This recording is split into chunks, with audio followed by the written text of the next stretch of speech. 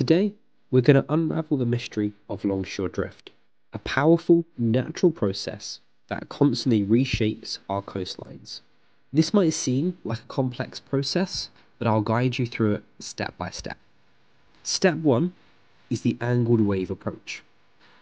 Begins with waves that are hitting the shore, but they don't just crash head on, they approach at an angle guided by the prevailing wind. Step two is then the swash mechanics.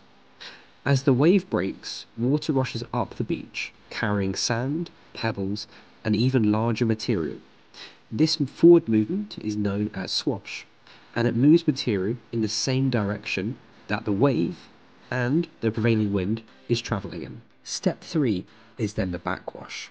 After the swash, water drains back to the sea, pulling some of these materials back with it.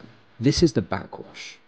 Unlike swash, backwash pulls straight down the beach's gradient. This is thanks to gravity and is not affected by the prevailing wind. Step 4 is then the zigzag motion.